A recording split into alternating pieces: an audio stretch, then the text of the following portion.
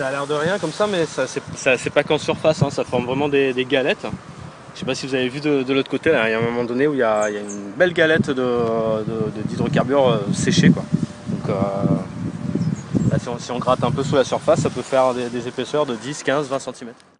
Déversement volontaire, pollution accidentelle ou acte de malveillance, toutes les pistes sont pour l'heure envisagées pour comprendre l'origine de la pollution de la ravine Balthazar à la possession. Alertée il y a trois jours, l'association Possession Écologie Solidaire n'en est pas moins réaliste sur la durée de cette pollution, faite bien avant le cyclone du Mille. Oui, apparemment cette pollution-là date au moins de la mi-décembre. Euh, la pollution de l'autre côté a l'air d'être encore plus ancienne. Hein. Euh, donc voilà, c'est quand même au moins au minimum un ou deux mois euh, voilà, de, pollution euh, sur ces, sur ces deux sites, quand même des produits toxiques, hein, les, hydrocarbures, des huiles de vidange. donc ces, huiles en fait elles viennent du décanteur de chacune des deux sociétés de chaque côté de, la ravine, hein, et, et Société Gérard Suprême Mestri. Et bah, quand il y a eu des, eaux pluviales, apparemment ça fait déverser le, décanteur dans, dans, la ravine.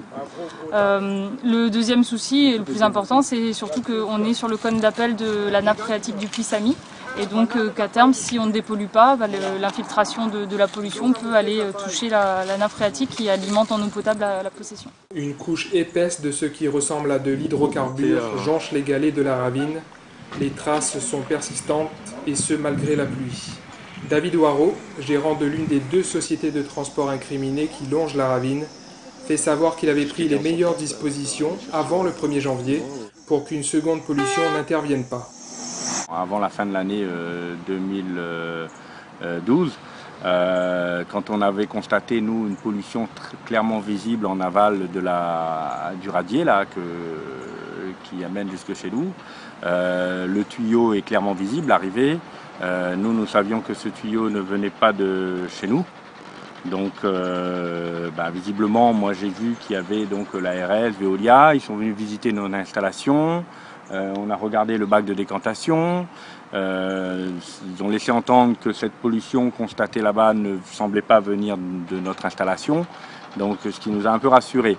cela dit, nous avons quand même pris nos précautions et et sachant qu'un cyclone euh, s'approchait, nous avons donc pris la décision de ne pas attendre pour vidanger notre bac de séparation d'hydrocarbures qui se trouve euh, derrière moi. Donc il a été vidangé par une société agréée euh, le 31 décembre de cette année. et à ce moment-là, aucune pollution n'était visible, je dirais, aux abords de nos tuyaux d'évacuation. DEAL, Veolia, ARS, services de la mairie, tous ces services, alertés par la jeune association, ne pourront plus dire qu'ils n'étaient pas au courant de cette pollution du sol proche d'une nappe phréatique qui dessert la ville. Possession écologie solidaire a, elle, porté plainte contre X auprès de la gendarmerie, afin que toute la lumière soit faite et les responsabilités de chacun engagées.